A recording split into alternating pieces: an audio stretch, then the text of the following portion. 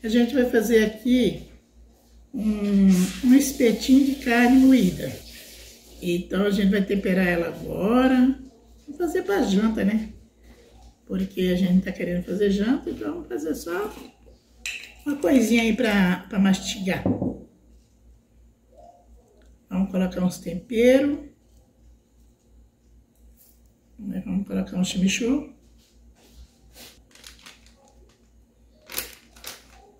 Vamos colocar um pouco de creme de cebola. O creme de cebola, né? Porque senão fica firme a carne. Aí não segura. Um pouquinho de orégano. Um pouquinho aqui de tempero para carne. Fica saboroso também. Muita gente não gosta, mas a gente gosta aqui em casa. A gente, se colocar esse temperinho aqui, ele tem que cortar no sal, né?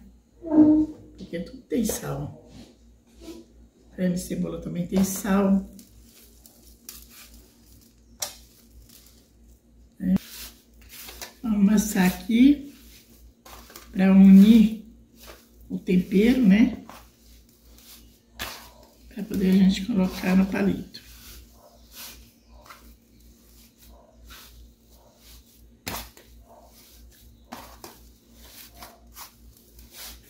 Se vocês quiserem colocar cheiro verde, se vocês quiserem colocar, vocês podem colocar.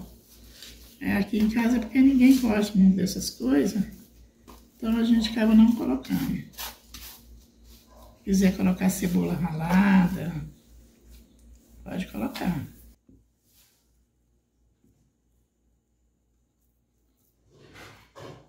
Gente, aí vão fazendo assim, ó. Porque se a carne tiver bastante liga, ela vai ficar bem grudadinha.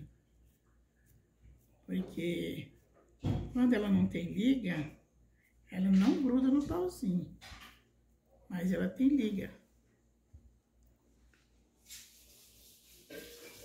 Vou fazer aqui tudo, depois a gente mostra pra vocês, tá? Enrolei ah, os palitinhos de carne e agora vamos colocar na geladeira para depois a gente fazer eles, tá ok?